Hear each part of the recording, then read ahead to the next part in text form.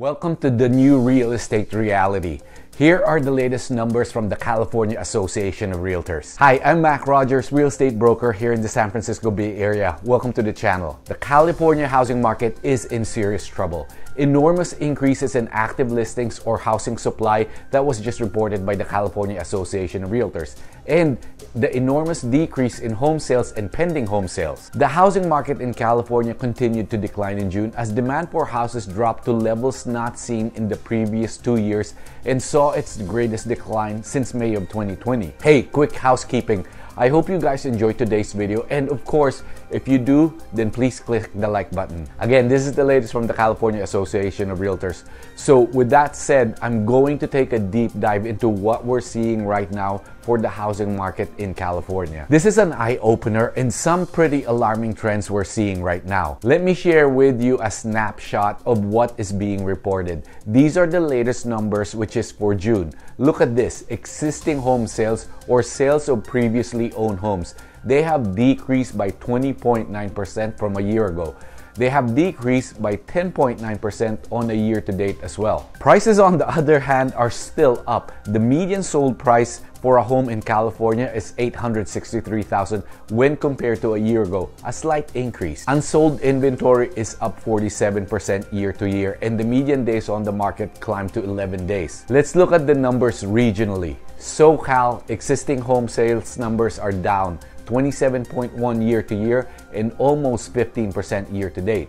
The median sales price is up 8.4% year to year. That is still a big increase unsold inventory stands at 2.5 months. By the way, what that means is that if there were no other properties to come on the market for sale, it will take two and a half months at the current sales pace to sell the inventory. That's still pretty good. Median days on the market is 10 days, which is still fast, and the sales to list price is at 100.1.5. This means that on average, homes are selling 1.5% over the list price. Not bad. Moving on to the Central Coast, and as you can see, the same story here. Year to year and year to date both down, 26.3% and 21.4% respectively.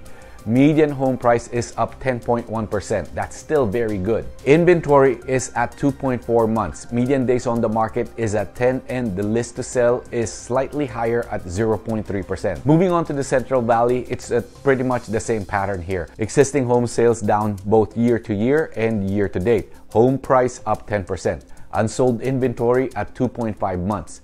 Days on the market slightly lower, which means it's only taking 8 days in the Central Valley to sell a home or go pending. In the list to sell, 0.5% over list. Moving on to the Bay Area where I am, again, the same pattern, just slightly different number. Existing home sales down almost 27% year to year and down a little over 16% year to date prices went up a modest 3.7%. Days on the market is getting longer at 12, but 12 days is still fast. The sales to list uh, price ratio is at 104.4%. On average, properties are still getting bid up over 4%. Oh, I forgot to mention, unsold inventory stands at 2 months. Moving on to the far north, existing home sales both down year to year and year to date. Home price is up 5.3%. Unsold inventory is up 3.2 months.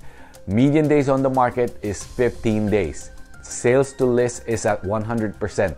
Not a lot of overbidding in the far north. That's what's going on regionally around the state. As you can see, the same pattern pretty much uh, throughout the state, which is sales down, prices still up, inventory starting to climb, days on the market climbing as well, list to sell ratio is starting to normalize. I do believe that moving forward, we can expect more of the same. Look at the sales numbers. Month to month in decline, year to date in decline, year to year in decline. What's more is that we've had the biggest decline in sales since the pandemic. The SoCal region had the biggest decline in sales followed by the Bay Area. The Central Valley and the far north are not far behind, just a couple of percentage points below 20%. When home prices were increasing, a lot of the sales were happening in the higher end of the market, meaning million dollar homes. I think this number uh, or these numbers is just being pulled up by the metro area such as LA, Bay Area, and San Diego, where a lot of the mega million sales were happening. Let's look at the, dec the decline in, in sales. This time, the decline is happening or the drop in sales is happening in all price segments. This means that all segments are affected. It's tapering all the all around, which is scary because that means even the higher income bracket people that used to be buying these million plus homes are not out there. I think this has a lot to do with how the economy and how everyone just keeps talking about a recession. Pending sales had the worst decline since the pandemic. Not surprising since sales are also down big. But this is further proof that the next month, the sales numbers will go down again. After all, pending sales is a leading indicator of future closed sales. Also, the pending sales number is declining in all price segments. Here's one interesting fact. Condos are selling slightly faster than single family detached homes. My theory on this is because condos are much cheaper than single family detached homes, and some buyers would rather buy a condo than rent a house. This next graph shows how prices are slowing down. It's still clearly up, but definitely appreciation is slowing down. I'm one of the proponents of prices will just slow down in appreciation and not not go down, but with what I'm seeing in my local market, I believe that there is a chance for a home price decline. The slowdown that we are experiencing is much faster. Inventory is uh, that's coming on the market is starting to pile up. And if the feds hike rates again, I think we are in for a very rough fall and winter season. Going back to condos, with demand for condos higher, the median price growth continued to outpace single family homes. Makes sense. As a result of all these, the market is starting to be less competitive. Take a look at these next graphs. It's the percentage of homes sold above asking price by county. The top five is located here in the Bay Area. San Francisco leading the way at 88%. These next graphs that I will share are all the details of what is going on with the sales prices. Check them out. Pause the video if you have to.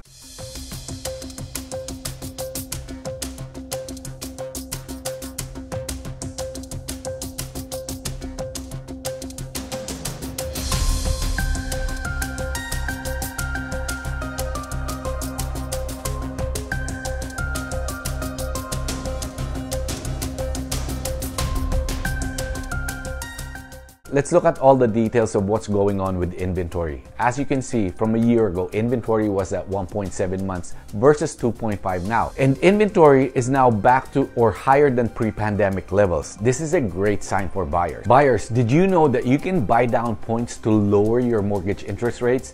This can help you lower your monthly mortgage payment. Check with your lender or comment below. Now back to inventory. There are more active listings now. The yellow bar is 2022 Look from Jan look here from January to June, it just keeps going up and more likely in July this will go up again. So overall supply is increasing while demand is going down. I think we are getting to a point where supply will be going up faster while demand keeps shrinking. And this is why I believe the likelihood of a home, home prices going down is inevitable. Here you see listings are up in all regions. This graph shows listing by county. Del Norte, Plumas, Lassen, Sonoma, and Napa are the only counties that did not increase in inventory. Again, I believe that this will change in the coming months. I see the whole of California pretty much having a surge in inventory. We talked about days on the market uh, going up, but it's still fast from 8 days to 11 days. Finally, I think worth talking about and something that I think in the beginning of the market shift causes a lot of confusion that is price reduction. 35% of listings reduced their price by an average of 5%. I believe a majority of these price reductions are mainly sellers that have not accepted the fact that the market has shifted and they are still pricing their homes as if it was last year. If they were to price it correctly the first time around, price reductions wouldn't be this high. That's the latest report from the California Association of Realtors. Going forward, I believe we should expect more of the same if number one, inflation keeps going up, which it is. Number two, obviously, if inflation keeps going up, the feds will keep increasing um, the borrowing rates. And number three, if the feds keep raising rates, mortgage rates follow. And number four, recession, and the stock market. With those four, as long as consumers are worried, there will be a lot of buyers that, that's just gonna be waiting in the sidelines. Now, before I end this video, I wanna share with you another key measure of the housing market, or better yet, what companies that are in the business of building houses are saying about the housing market. This is the latest report according to the National Association of Home Builders, the monthly confidence indicator for home builders fell 12 points to 55 in July. The drop exceeded expectations by a wide margin.